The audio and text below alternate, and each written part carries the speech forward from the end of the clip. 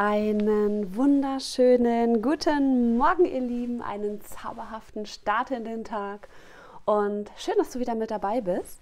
Heute ist ein besonderer Tag, sowieso jeder Tag ist besonders, aber heute um 10 Uhr geht das Mondvideo online. Und freu dich drauf, denn wir haben am Mittwoch ein krasses astrologisches Ereignis, Sonnenfinsternis, Neumond in der Waage tiefe Aspekte der planetarischen Konstellation, die so viel krasse Energie ins Feld beamen. Das letzte Mal hatten wir das vor zehn Jahren so intensiv in der Art und Weise. Dazu aber um 10 Uhr mehr. Das heißt, wenn du neu bist, lass mir gerne ein Abo da, aktiviere die Glocke und sei gleich mit dabei. Jetzt gehen wir erstmal rein und heute arbeite ich mit dem schamanischen Orakel. Dieses Orakel nennt sich die weise Schamanin in dir. Ich verlinke dir das in der Videobeschreibung, falls du sagst, das finde ich cool. In diesem Sinne bitte ich um die Tagesbotschaft für das Seelenkollektiv auf meinem Kanal. Das ging schnell. Glaube und Vertrauen über jeden Zweifel erhabene Gipfel. Alles klärchen unterliegende Energie. Freunde, passend zur Neumondenergie, die Freiheit. Freiheit ist die Kraft in dir zu sein, wer du wirklich bist, unabhängig von dem, was das Außen von dir abverlangt. Und wir haben hier erst einmal die Karte Nummer 13, eine meiner absoluten energetischen, hochschwingenden Zahlen, die ich so sehr liebe. Und heute ist es wichtig für dich. Glaube, vertraue. Das steht schon in der Übersicht oder in der Überschrift.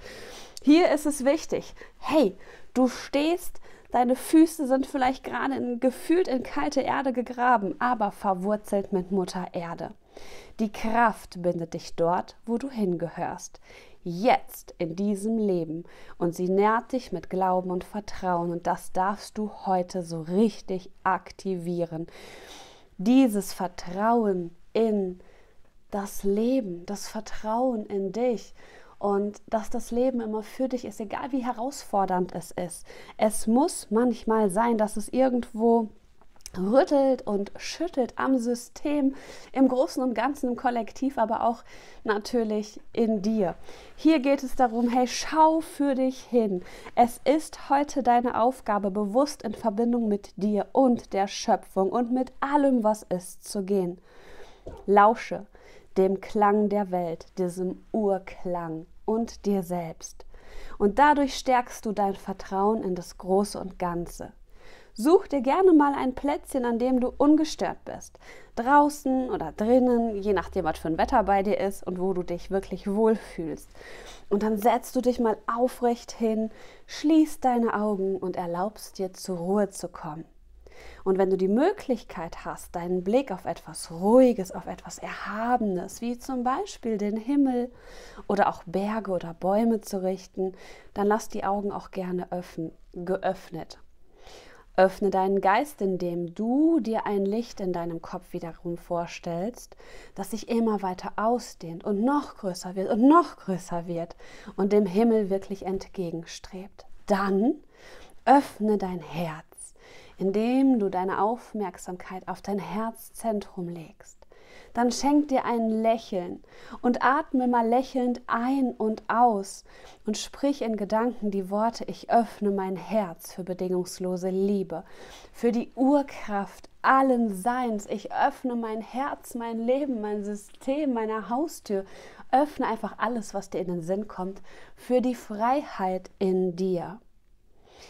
Und dann nimmst du nochmal so einen richtig tiefen Atemzug und erlaub deiner Seele Freiheit. Sei dir der Erdseele bewusst und verbinde dich mit ihr. Und dann verweile mal für einen Moment in der Stille und lasse diese Stille in dir einkehren. Und dann richtest du deine Aufmerksamkeit auf deinen Körper, auf deine Umgebung. Lausche, diesen Urklang der Erde und der Schöpfung wirklich mal wahrzunehmen. In diesem Moment stoppt dein Denken, wenn du vollständig gegenwärtig, achtsam im Hier und Jetzt bist. Dann bist du verbunden mit allem, was ist. Frieden, Liebe und Stille erfüllt dich in dem Moment. Nimm das mal richtig wahr. Genieße dein Sein und sei offen für die Botschaften deiner Seele, deiner Ahnen, der Engel, der Erde. Du bist im Hier und Jetzt, in deiner Ursprünglichkeit.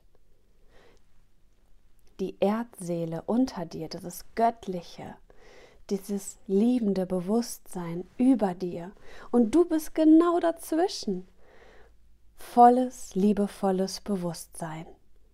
Verweile wirklich mal in diesem in dieser Energie, solange du willst, solange du die Zeit in dich investieren möchtest. Und dann lässt du dich von diesem erhabenen Gefühl des Vertrauens, der Verbundenheit komplett durch den Tag tragen. Und wenn du dann in Zukunft mal wieder Misstrauen, Zweifel, Ängste hast und diese Schatten dich wirklich manchmal auch einmal umwerfen, dann gehst du bewusst in die Verbindung und versuchst so dein Vertrauen in und ja, in dein Leben, in den Glauben wieder zu erlangen, auch in die Welt. Wenn du gerade sagst, okay, mich fordert wirklich das ganze Weltgeschehen gerade richtig heraus. Das haben hier die Schamanen dir zu sagen. Und natürlich möchte ich dir auch einen Impuls mit den Tarotkarten geben. Und da gucken wir natürlich auch rein, welche Impulse heute mit den Tarotkarten kommen. Was ist für das Seelenkollektiv heute am Samstag besonders wichtig? Worauf sollte der oder das Augenmerk gelegt werden? Ja, es geht um Stille, um Lauschen. Sei geduldig mit dir. Sei geduldig mit dir, einen gewissen Prozess wirklich, ja, ähm, dich davon loslösen zu können. Schau dir mal die Konflikte an, die dich umgeben, die Konflikte, die du in dir trägst. Welche Stellschrauben kannst du verändern? Schau dir bitte, bitte auch das Neumond-Video gleich an, also Neumond und Sonnenfinsternis. Denn hier sehen wir schon, okay, es könnte jetzt wirklich sein, dass du nochmal reflektierst, dass du hier nochmal ganz genau schaust, wo kannst du ein Ende setzen, wo darfst du dich hier distanzieren. Guck aber auch, wo du dich schon eine lange Zeit vielleicht sogar selber versuchst, ähm, mit Widerständen gegen deine eigenen Emotionen ähm, wegzulaufen.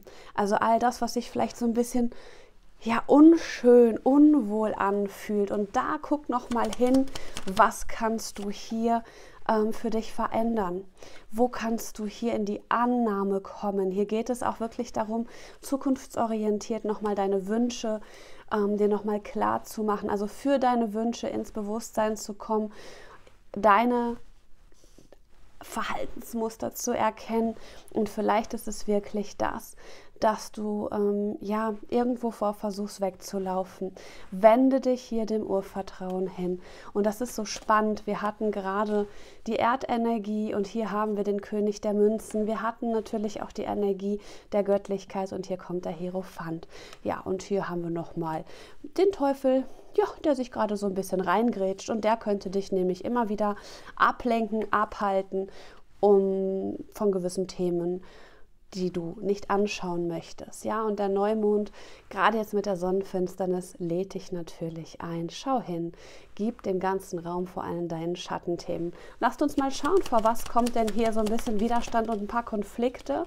Du hast einen Konflikt und einen Widerstand, hier eine Entscheidung zu treffen ähm, vielleicht deinen Weg zu gehen, diesem Ruf der Freiheit wirklich zu folgen, deiner eigenen Leichtigkeit zu folgen oder die wieder zu aktivieren. Gefühlt wehrst du dich gerade, weil du vielleicht dafür wirklich auch ähm, Situationen oder Menschen hinter dir lassen darfst auf die zehn Schwerter. Das ist so ein abruptes Ende. Das ist immer die Einladung, beende es, bevor es dich beendet. Hier wird etwas öffentlich. Ähm, es ist vielleicht auch, ja, das durch ein klärendes Gespräch, das ist ja, das ist dein Schattenthema. Das ist das, was an dir nagt. Also schau wirklich hin im Außen, wo gibt es vielleicht auch Menschen, die dir wirklich Kraft kosten, die aus dem Hinterhalt agieren. Ähm, bewerte das nicht, sondern schau es wirklich aus einer anderen Perspektive an, denn du hast ja schließlich die Macht zu gehen. Das also heute wirklich deine Hauptthemen. Freue mich, wenn du in Resonanz gehst und vor allem dann auch zu erkennen, hey, wenn du wirklich in den Fortschritt gehst. Und das heißt einfach manchmal, ja, dass du voranschreitest und für einen gewissen Moment vielleicht wirklich Widerstände, Menschen, Konflikte mal hinter dir lässt tust du das für dich und vertraue, dass das Leben für dich ist. Und in dem Wort Vertrauen steckt natürlich auch das Trauen, also trau dich. Trau dich, eine Erfahrung zu machen und somit deine Zweifel vielleicht selbstständig über Bord zu schmeißen. Zweifle bitte niemals an deinem Wert und an deinem Sein, denn du bist genau richtig, so wie du bist. Und wenn du für dich erkennst, ja, meine Seelenessenz ist genau richtig und du bist auch genau richtig, mit all deinen Ecken und Kanten wie ein Diamant macht es dich zu einem funkelnden Unikat. Und dennoch, wenn dir etwas auffällt, wo du selber sagst, oh Mann, das haut mich echt um, ich, ich will das nicht mehr, dann nimm erstmal dieses Muster an. Sei dankbar, dass du es erkannt hast und dann kannst du dann deinen Weg wählen und stell dir dazu die Frage, was möchtest du denn stattdessen? Denn wir Menschen haben immer die Fähigkeit zu sagen, was wir nicht wollen. Doch auch du darfst lernen, mal ganz klar auszusprechen, na was willst du denn? Denn aus Gedanken wird Materie. In diesem Sinne sage ich danke fürs Einschalten und ich freue mich, wenn du natürlich dir gleich dann auch die Neumondlegung anschaust, wo weitere Impulse auf dich warten. Schön, dass es dich gibt und ich sage bis später.